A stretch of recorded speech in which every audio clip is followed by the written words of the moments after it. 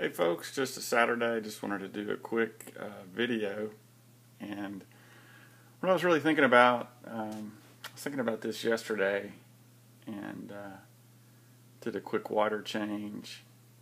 The thing I really wanted to talk about was how you can, how the plants adapt. And uh, by the way, this leaf right here in the middle, see how it's kind of a light green. It's actually uh, if you look back about a week, it's it's a small thin one right in there that was coming up, and I mean it's it's grown a tremendous amount in seven to ten days, and I'm tempted to go back and find an old clip and uh, just show you how much it's grown in, in a short time. But what I really wanted to focus on, this is what I wanted to focus on. Uh, we all have plants that look different, but it's the same plant. And by that I mean, uh, look at this plant right here. See how sick that looks? This thing just looks, it looks like a haunted tree. It's got roots hanging on it. You see how long the roots are? It doesn't look good. The, the bottom one's got a little bit of green. You can see where it's kind of wilted. You know, Dustin, Dustin does a great job of these. There's some other people that have this growing really well. This plant doesn't look good. You know, I don't know. And Dustin kind of talked about it. You know how some people grow. You know, different tanks grow different things, and uh, and who knows? Maybe it's the plant, or maybe it's you know I'm not doing something right. I don't know.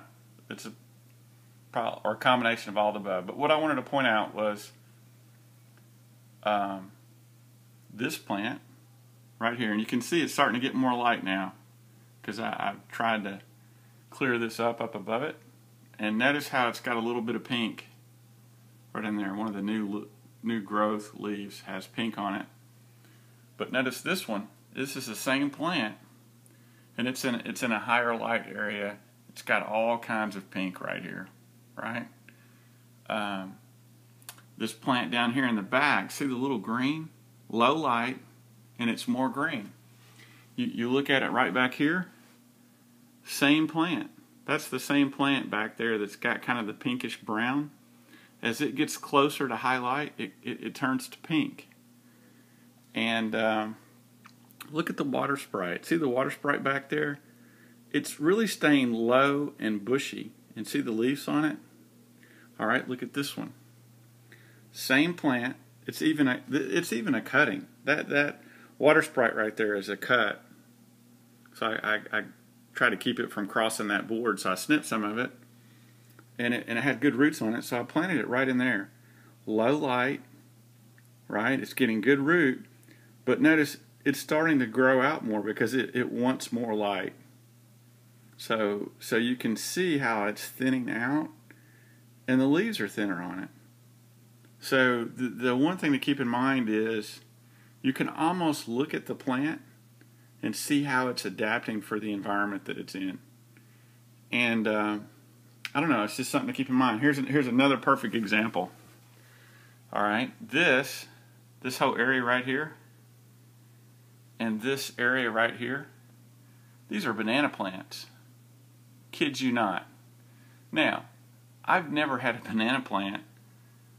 Uh, well, this first first dirt tank, right? So look right here. See the root? That root is from that banana plant. It's digging down and hitting dirt. As soon as it started hitting dirt, it started doing lily pads. It was just like, it was almost like the plant said, you know, roots are great. I, I'm doing everything fine here. We don't even, we've got so much energy down here that we're getting from the roots. Let's go and see if we can't find a way to own this soil. And by own it, what I mean is, is what it wants to do, what the plant wants to do, it doesn't want anybody else around here to grow into this dirt. So what does it do? It's like a large tree. If you go into the woods, a large tree, it steals all the sunlight, right? Because because it's not going to worry about anybody getting enough energy to dig down and steal from its roots if it can't get light. So what does it do? It starts shooting lily pads. I've never had a banana plant shoot lily pads. So the swords are, you know, just kind of doing the same that swords usually do. And um, I don't know, it's just a thought. This this wisteria, it grows like a weed. I'm always cutting that, pruning it back, cutting it. And then this dwarf baby tear, you know, I know a lot of people that have it. I, I promise this is dwarf baby tear. It it doesn't, you know, the the leaves on it look different. And and maybe who, knows? Maybe I bought dwarf and somebody sold me the large stuff. I don't know. But uh, you you can see it crawling out. You can see the roots on it.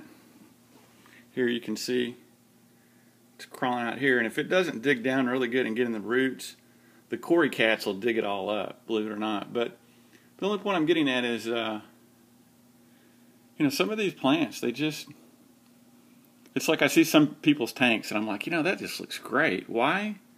Why is that plant doing so well in that tank? Why can't I get that result? And and and and a lot of it has to do with dirt and lighting and just balance overall, and and maybe water hardness, right? like if you see the uh, see the reddish brown plant back there, I can't get it to grow. It's like turning into a bush. I I I, I can't get anything to you know fill fill that up that well, and and the same. My Anubiases are doing well. But like you know, you, you, you see this version here, and it's kind of the same plant. It's a little different color, and I'm not going to butcher the name if that pearl will get out of the way. But if you notice, I mean, it, it's it, it looks kind of hideous, right? Leaves are melting on it.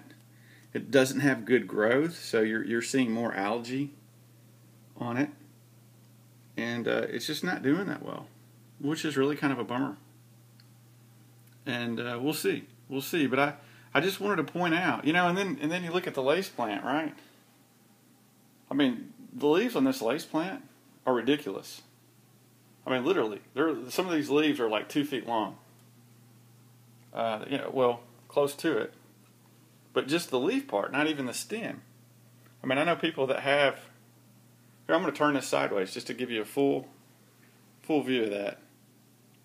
And this tank is two feet deep and and I probably got I don't know a good four or five inch substrate. But uh, but you know that's that's a serious lace plant. So anyway, all right, I'm gonna flip this back just so you guys see it. But just a thought on plants, and I just think it's weird how uh, you, can take a plant just like with the water sprite, right? Or like like these right here, bad light I realized it was bad light. I'm like, why doesn't that plant look like this plant? And I was like, oh, wait. Pink tells me high light. It's not getting good light. So, I, you know, I, I clipped one of the lily pads and tried to give it some space up in here. And I didn't care about that as much because, you know, this doesn't really need that much light. And uh, the swords definitely don't because they're going to get a lot of their nutrients from the roots. But notice the water sprite. This thing is really starting to get viney, and it, and it's wanting to reach out and get some more light. So it's it's looking a lot prettier than the water sprite over here that I just thought would just do great in highlight.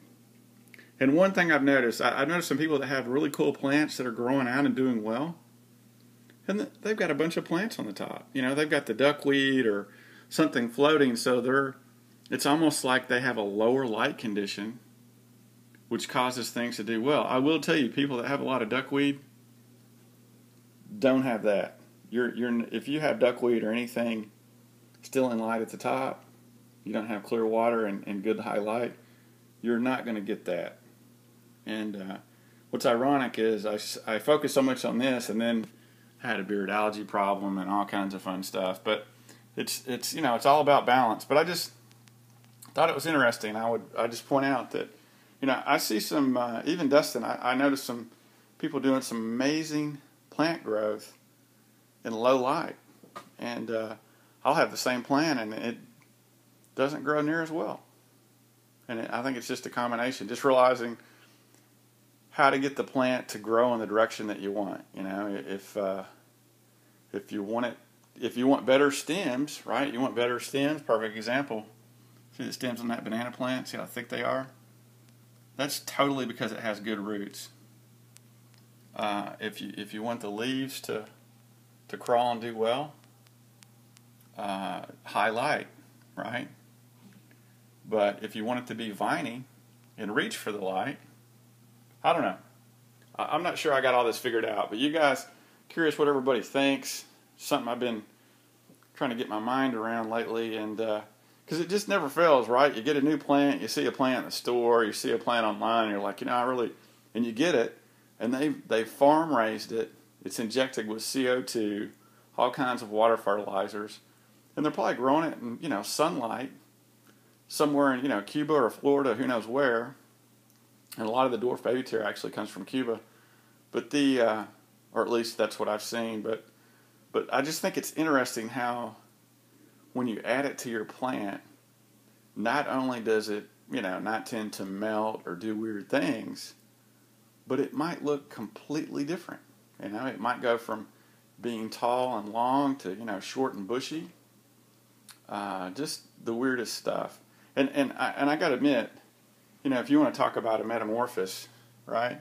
This banana plant, I've never had a banana plant do this, so it looks completely different from what you're used to seeing in the store. So just a just a thought. And uh, anyway, just wrapping this up. Hope everybody's having a good Saturday, and uh, you guys take care. See ya.